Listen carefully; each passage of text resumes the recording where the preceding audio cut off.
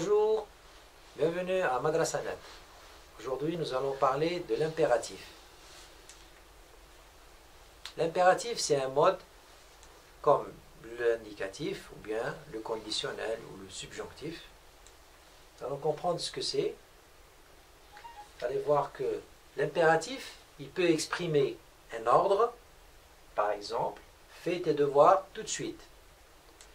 Il peut aussi exprimer un conseil, mets ton manteau, il fait frais. Ça, ça fait partie de l'impératif. Aussi, il peut exprimer parfois une interdiction. Par exemple, ne touche pas à ça. Voilà. Donc, toutes ces expressions font partie de l'impératif. Maintenant, l'impératif, il se conjugue qu'avec trois personnes et les sujets ne sont pas, ne figurent pas dans de l'impératif. C'est-à-dire le sujet n'est jamais exprimé dans l'impératif. Nous allons voir avec les exemples.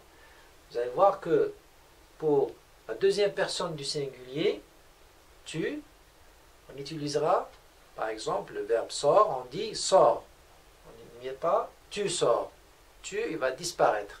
Donc on aura la conjugaison du verbe sort sans l'utilisation la deuxième personne du singulier.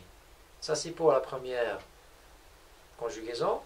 La deuxième personne, pardon, la première personne, deuxième personne, c'est la première personne du pluriel, nous. Donc on utilisera nous sans le mentionner. On aura sortant au lieu de nous sortons. Le nous va disparaître. Ça c'est pour l'impératif. Pour le troisième cas, ça va être la deuxième personne du pluriel, vous.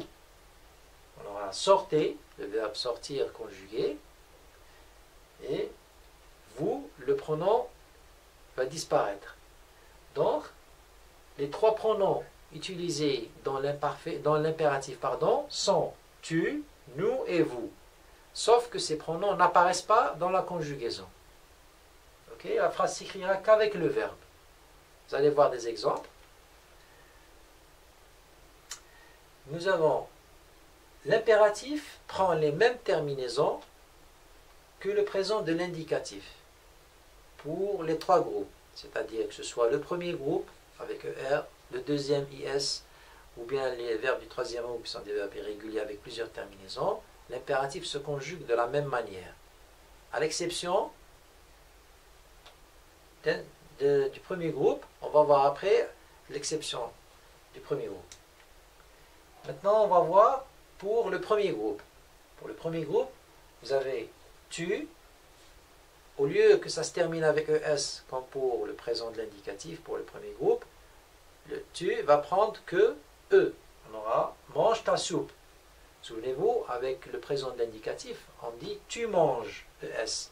Là, on enlève tu et on enlève le S que pour le premier groupe. Ok? Donc on aura mange ta soupe, on aura range tes affaires. Tout ça, tous ces verbes-là conjugués à l'impératif présent ne portent pas de S à la terminaison. Donc, se termine par E. C'est ça l'exception pour l'impératif. Ok? Nous avons nous, la terminaison ONS comme pour le présent de l'indicatif, le verbe mangeant notre soupe. Ok? Donc, vous voyez bien que nous a disparu. On ne met pas le pronom dans l'impératif. On met que le verbe conjugué comme au présent de l'indicatif pour les premiers groupes. Vous, la même chose, terminaison EZ. Et vous, là, il a disparu aussi. On garde que le verbe conjugué comme au présent de l'indicatif. Mangez votre soupe. Ça, c'est pour les premiers groupes, les verbes qui se terminent avec ER. Voyons maintenant les verbes du deuxième groupe qui se terminent avec IR. Par exemple, le verbe finir. Nous avons pour tu la même terminaison, S, fini ton exercice. Ça ne bouge pas. Nous, la même chose, terminaison ONS, finissons notre exercice. Et pour vous, c'est EZ. Finissez votre exercice. Vous avez remarqué qu'on a utilisé que trois personnes. Ça, c'est la règle de l'impératif, il ne faut pas l'oublier. La deuxième du singulier, la première du pluriel et la deuxième du pluriel. Les terminaisons ne changent pas pour le deuxième groupe, c'est les mêmes que celles du présent de l'indicatif. Et puis, les pronoms ne figurent pas dans les phrases. Ok? Ça, c'est les règles de l'impératif. Passons au troisième groupe maintenant. Les terminaisons du troisième groupe sont les suivantes. Au présent de l'indicatif, bien sûr, c'est S, DS, TS et X. Il différents types de verbes avec différentes terminaisons. Pour le pronom tu, pour nous, ça ne pose pas de problème, c'est ONS, et pour vous, c'est EZ. Donc, pour tu, on garde la même terminaison que pour le présent de l'indicatif, qui est S, par exemple, pour le verbe tenir, on dit tiens ça. Ou bien pour le verbe faire, qui est fais ça, on garde le S. ok? Ou bien pour le verbe, euh, on dit euh, euh, le verbe prendre, qui se termine avec DS dans le présent, pour le présent de l'indicatif, on dit prends ça. On peut mettre DS si on met prends ça. Donc ces terminaisons-là sont les terminaisons du troisième groupe au présent de l'indicatif, l'impératif va les prendre lui aussi. Pour nous, la même chose, tenons ça, prenons ça, c'est la même chose, ONS ne bouge pas. Pour vous aussi, par exemple, on a pris le verbe tenir, on dit tenez ça. On garde la terminaison du présent de l'indicatif, EZ. Sans oublier, bien sûr, la règle, il faut enlever les pronoms. Ok? Voilà. Ce cours est terminé. J'espère que vous l'avez compris. Avec les exercices, vous pouvez vous adapter à régler tout ça.